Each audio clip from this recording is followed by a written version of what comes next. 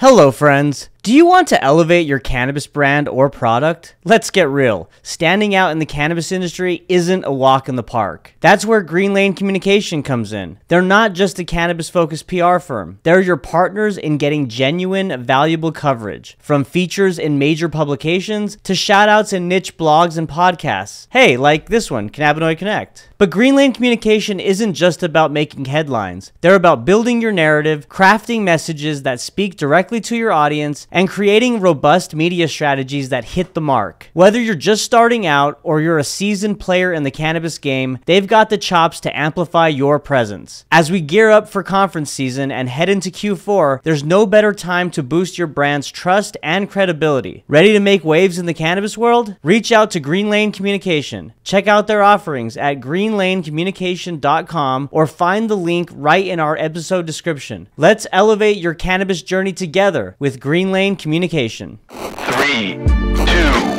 one, liftoff.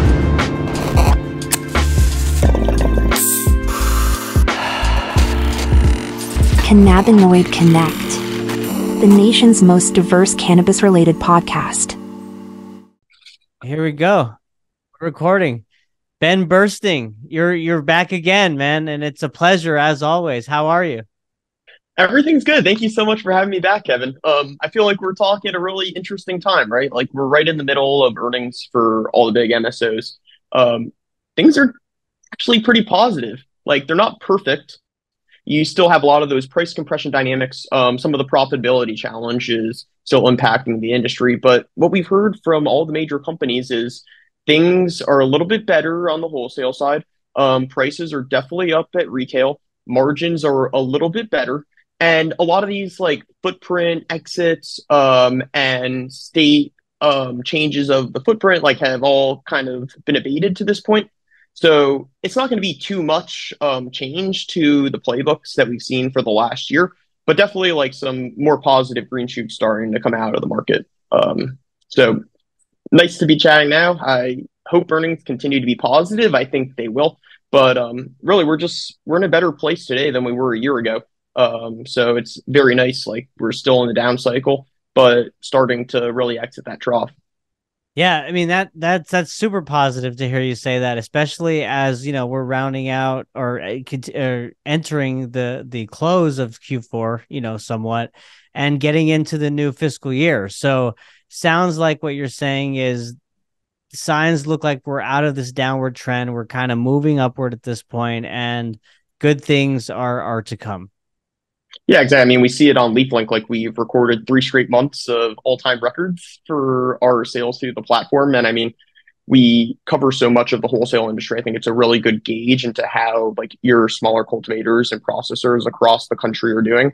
So to like really see that come through in the data has been a big positive for us. And I mean, we all know that prices have been falling like pretty precipitously um, up until like some of the shortages this summer. So to not really see so much negative price action, especially amongst the harvest, um, is positive. So prices will probably go down over the next six months but for the most part, I would expect us to still remain with like the better margins, um, better structures, um, at least on the cost side for a lot of the companies in the space. So feeling good. yeah.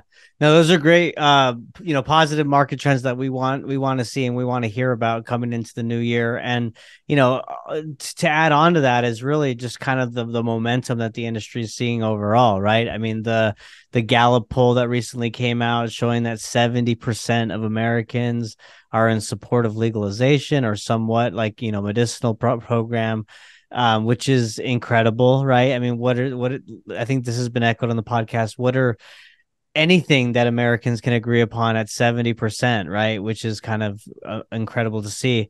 Um, but then also, you know, we're now at the tipping point when it comes to legalization state by state. We're at 24 states, Ohio being the most recent.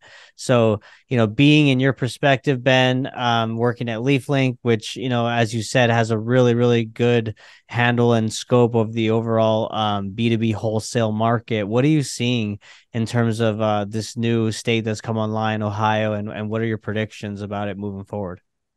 Yeah, I'm so happy we're sitting here um, the week after the vote, and you see such strong positive voter momentum in the state. Like that's number one. You had it vote pass by more than 12 points. Um, that's one of the strongest legalizations ever.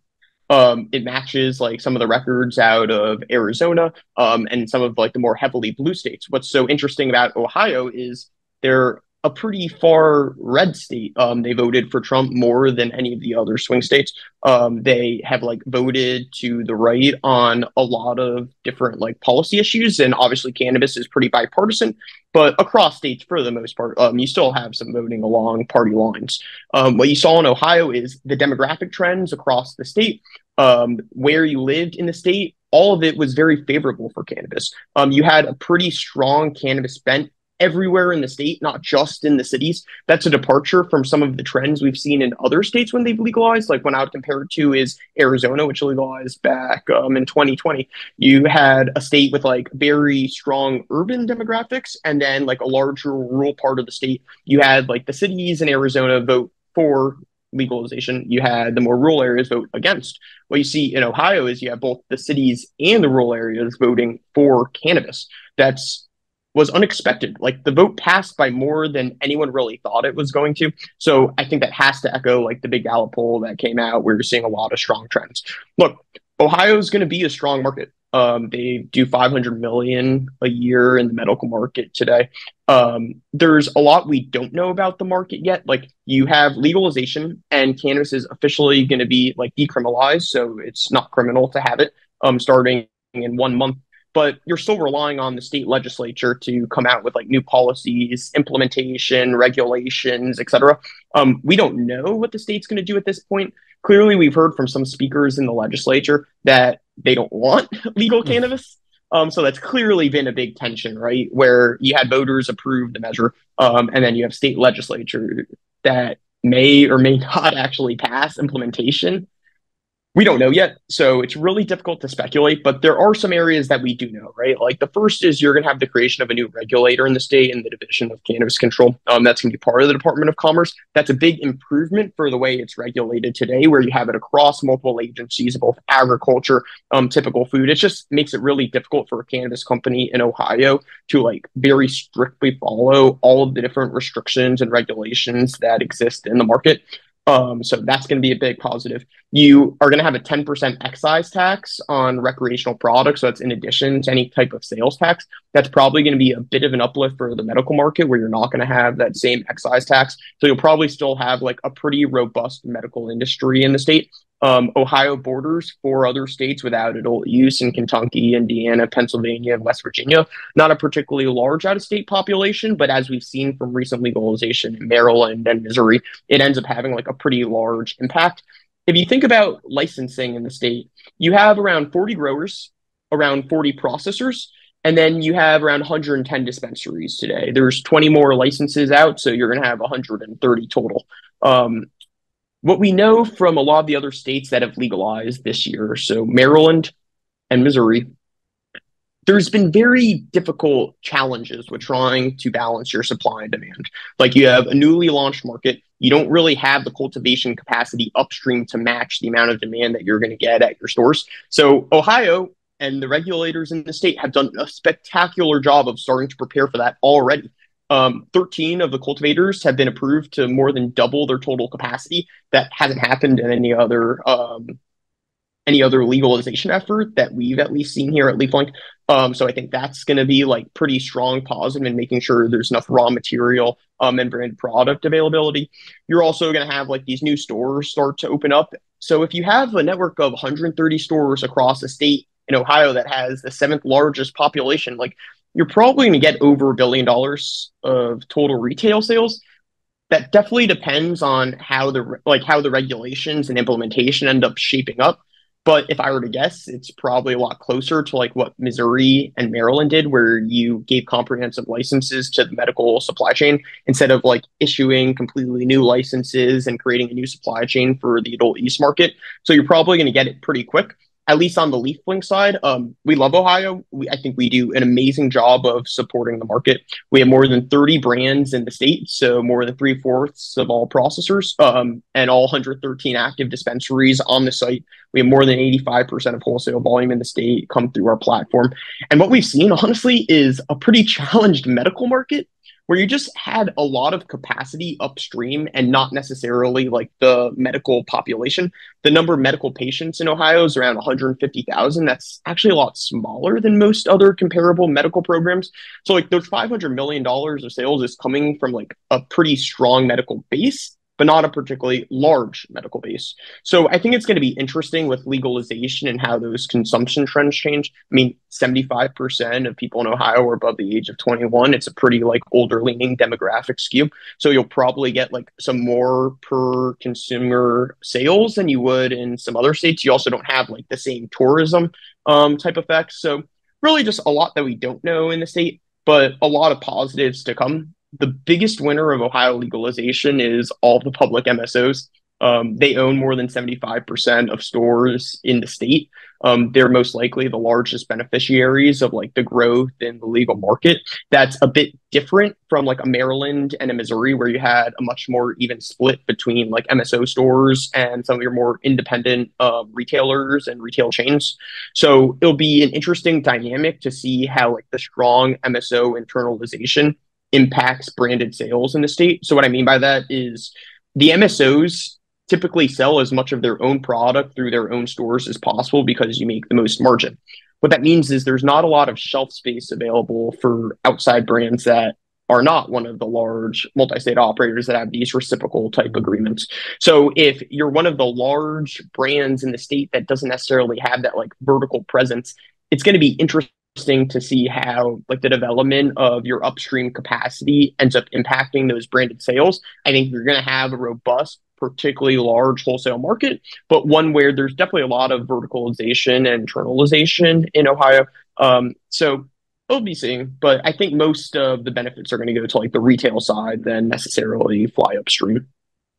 That's an interest, uh, interesting situation that you just kind of laid out. You know, the fact that these these large brands that are not vertically integrated like you said they're kind of just fighting for shelf space because these MSOs own the majority of dispensaries and shelf space right? So i mean you talked about wholesale as being one option but like would e-commerce be another kind of play where they're just available online and not having to rely on the brick and mortar yeah, you're right. I mean, you could do delivery. You have to do delivery through the retailer. So it's never that like the brands really be able to list their products out. It's going to be more like the dispensaries controlling that end customer. I think there's definitely going to be large opportunities for brands. What I can tell you already now is there's going to be even more M&A in the space in Ohio.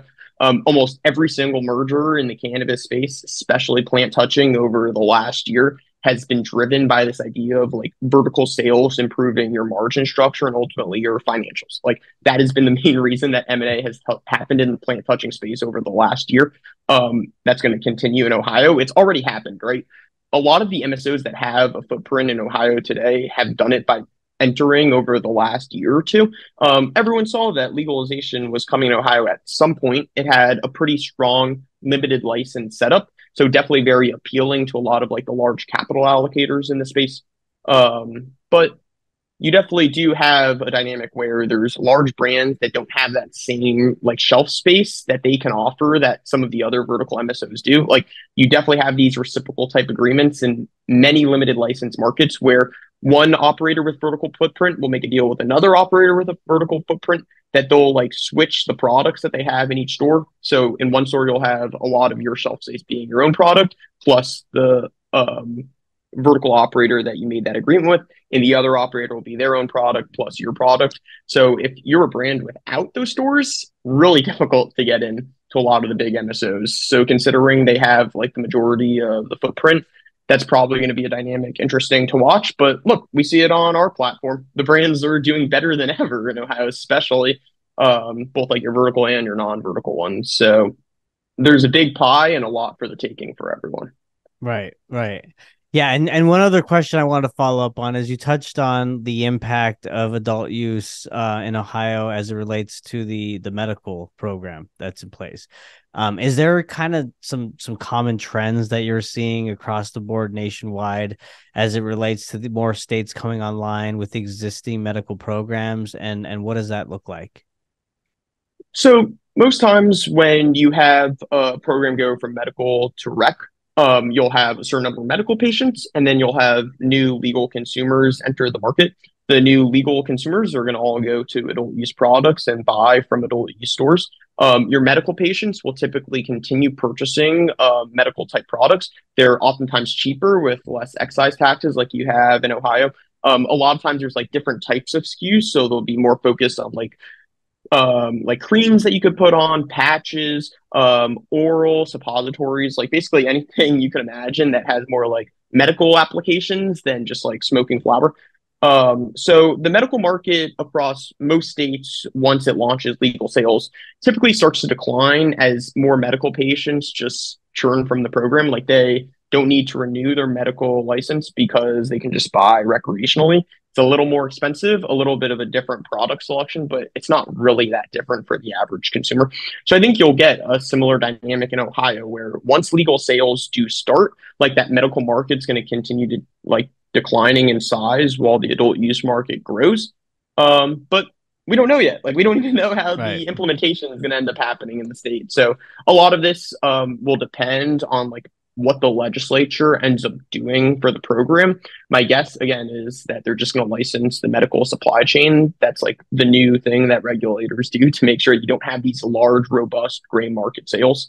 Um, but if Ohio doesn't act quickly and they legalize and don't have a legal way to sell product, like you're going to get this gray market type structure that a lot of states are dealing with today. Missouri and Maryland did an awesome job of learning those lessons and launching the markets really quickly to avoid that. I'm hoping that Ohio will too. Right.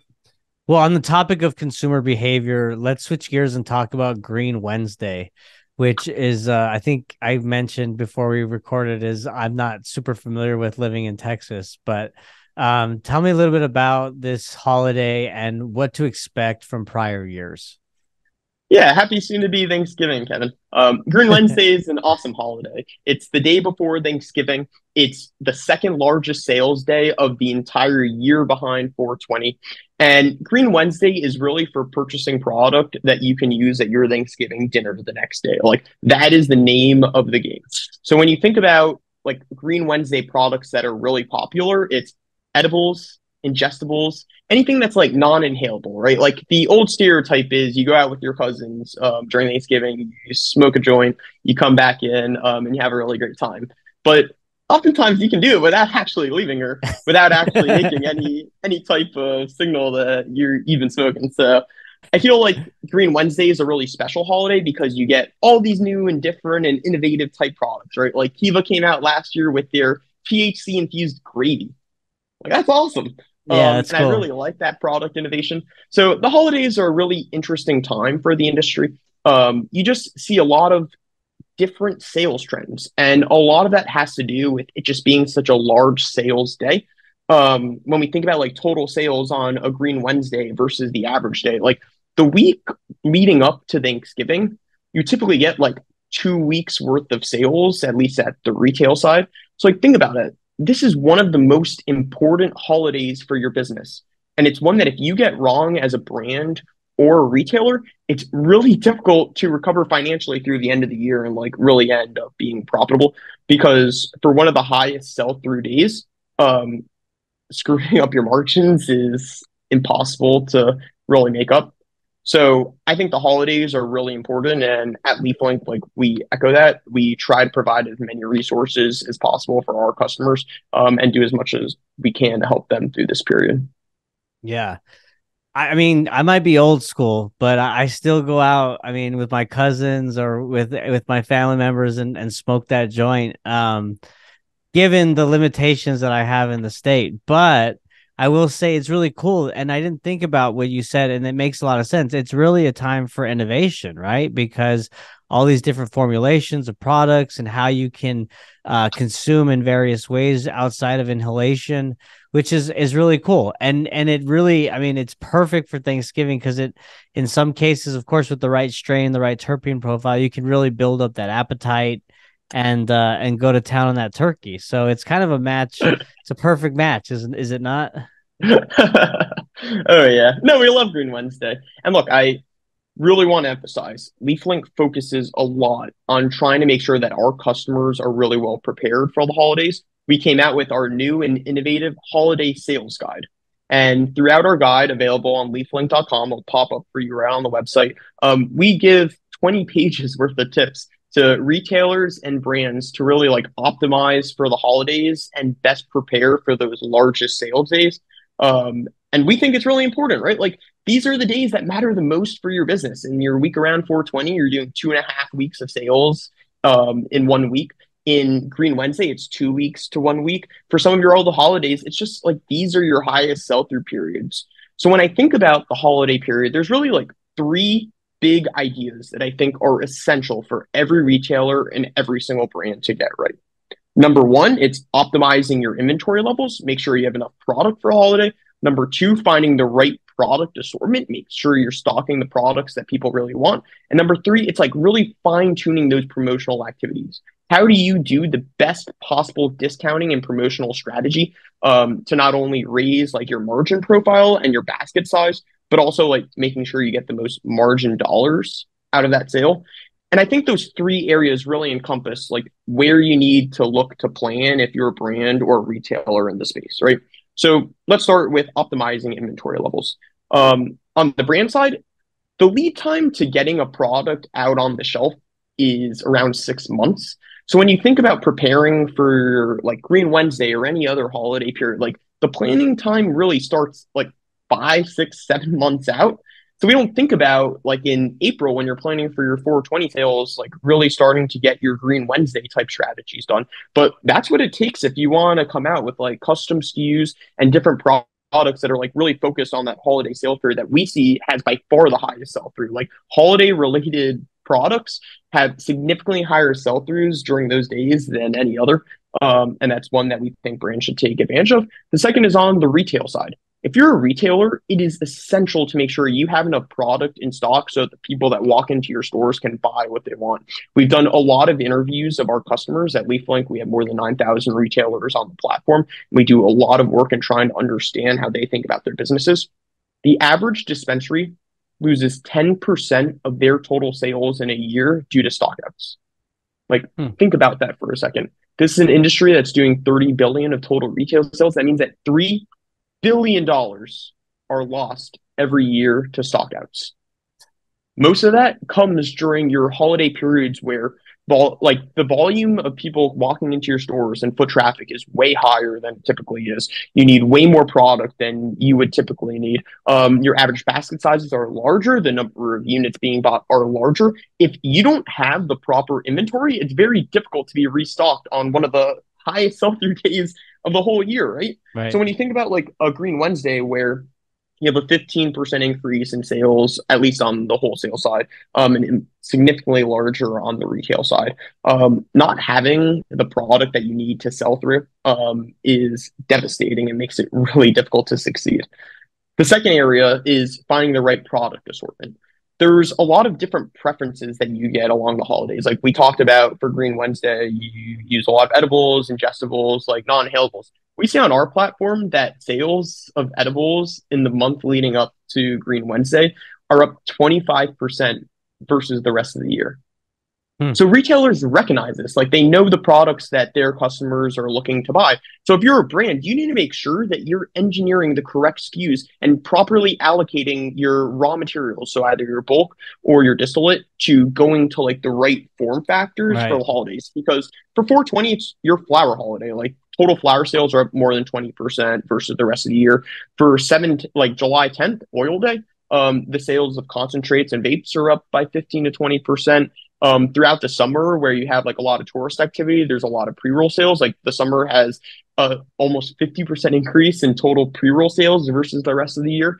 Um, at the end of the year holidays, your best selling products are the ones that have the most to do with like your holiday time. Like peppermint and we saw on our platform that like peppermint um, vapes were one of the largest year over year increase sales for the holidays probably because it has to do with christmas Christmas. so yeah. we think it's really important to like properly um, think through your product allocation and your product assortment because when we think about stores like a store in washington where you have no vertical integration has more than 3000 skus sitting in the store think like if you're going to get the right SKUs for that holiday period, it's going to be like a very small number of those thousands of SKUs. So being able to like really think through that strategy and purchasing far enough ahead that you're making sure you get the right products for your customers um, is really really important. And and it's The like last- I mean you got to even factor like shelf life too, right? Because like you're timing these these formulations for the specific time. I mean, there's a lot that goes on the back end in engineering of that planning. It's pretty remarkable.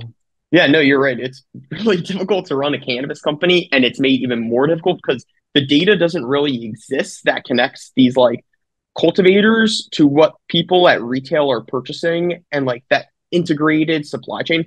I one of the reasons I love where I sit at LeafLink is I think we're really the only ones capable of doing that. I mean, we have more than half of the wholesale market running through our platform. We have a lot of integrations both upstream and downstream that no one else really has. So when we think about like an opportunity to really understand like how a product goes from first getting grown in the ground all the way to being sold and how that gets tracked back upstream um, is really interesting, really challenging, and makes it very difficult to do all of these. Absolutely. Yeah. No. Yeah. yeah, Go ahead. Sorry, I cut you off on the third your third point there. no, no worries. I, I obviously appreciate the follow-ups. Um, last is making sure you fine-tune your promotional activity. Like everyone's going to use discounts during the holiday periods. Like that's no surprise. But there's a lot to think about in your promotional strategy where it's really important to make sure you're timing and planning properly. So like you have direct messaging to your customers on what you're discounting. You have non-complicated T's and C's where they know what they're buying. You have display and merchandising with consistent branding to your store, the products that you're selling. Your technical systems like your point of sale and ecom, like Dutchie went down last 420, um, and it impacted millions and millions of dollars of sales. Um, if you don't have an alternative to your Tangle system that you're using to sell through, especially on these high volume days, um, you're going to lose lots and lots of sales.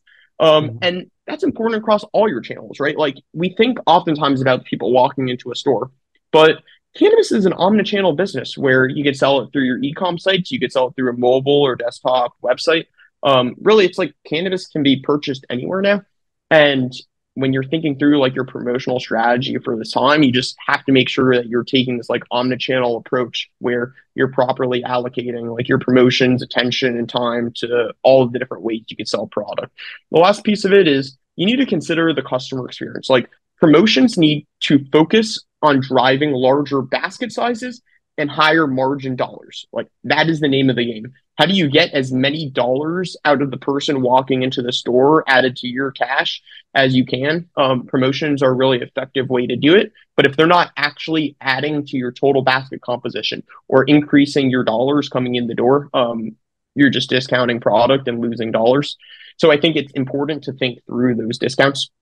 The last piece on it is we talk a lot about the different consumer types in cannabis, like the people who are buying your product, how you're properly targeting them, and who you're thinking through. If there's anything that a retailer or brand takes away from this for the holiday period, I want it to be this. More than 90% of sales in the industry are from people who use the product more than once a day. Like your typical stoner is almost the entire market. So when we think about product development um, for the purposes of gaining larger degrees of sales, like the person that you're targeting is the man or woman who's smoking every single day, um, who's buying many, many SKUs every single time they go to the store, who's buying in much larger quantities with much larger basket sizes than like basically any of the other consumer types, right? Like you've had a lot of companies focus on the quintessential soccer mom, but oftentimes that soccer mom goes into a store and buys one cart for six months, right. or they buy one pack of edibles for mul- like as long as they can last. So Mhm. those aren't the type of customers who are going to draw at your bottom line dollars in your business. It's the person that's using the product every single day. Typically, they're the most price sensitive group as well. So it's like these promotions that let you really capture these very active purchasers and like that's why I think the holidays are so special. You're going to have higher than ever volume and it's an opportunity to capitalize on creating new engaged loyal customers and to be able to do it for the people that use the product the most and make up by far the majority of spend in the industry um, is like a really effective way to think about it. So look, I, I've given a lot of like different ideas and tips and everything's listed in our sales guide. But if it's this, it's like make sure you capitalize on the holiday period and do with the customers that are going to bring the most margin dollars to your bottom line. Yeah. No, these are great insights. And and one thing when I hear you talk about that last point at the end, um, where the the typical consumer is that that stoner that you know consumes every day or multiple times per day and buying different form factors, it's that it also levels up the quality of the product, right? Because they they know what they're buying, they know what they're consuming. So it really is a way to just kind of have the whole industry kind of step up and um, get creative by serving, you know, the people that really are the ones who who indulge in the product. So um, this has been great, Ben. I mean, it's, it's always a pleasure to have you on because you're always so filled with so many insights and you're just a super smart guy. So I, I appreciate your time. I uh, I want to ask you, where can people find this uh, LeafLink uh, holiday sales guide that you mentioned? Yeah, if you just go to our website, leaflink.com, it's going to pop up for you right in the middle. You just put in your name and email, and it gets sent to your inbox immediately. Um, so highly recommend everyone do it. Again, like there's checklists and checklists and checklists of all the different ideas you need to consider, the different strategies to build out, and a lot of guidance on all of those, including a lot of product insights, like what type of products sell well for the holidays, what have seen the largest increases in certain states, what are the type of brands to really target. Um, so I think for anyone listening, it's going to be worth your time downloading it. It's free. So I think it's going to provide a lot of really valuable insights. Um, so yeah, you can get it at our website. But Ken, I just can't thank you enough. Like you are such a rock star for our industry, and I think you have the most interesting conversations of anyone. So I just feel so thankful to be able to chat with you today. I'm like, you're the best, really. Well, I appreciate you saying that, Ben. And I think you're the best, really, when it comes to data insights and just understanding, you know, market by market, state by state, vertical by vertical, supply chain. I mean, y- you know, you're in a very unique position and you're using it for good. And uh, the more we can have you on to share those insights, uh, will be good for for not only me, of course, but for everybody listening. So, thank you again. I appreciate your kind words. And uh, until next time, everyone, thank you so much for listening. Bye. Cannabinoid Connect, the nation's most diverse cannabis related podcast.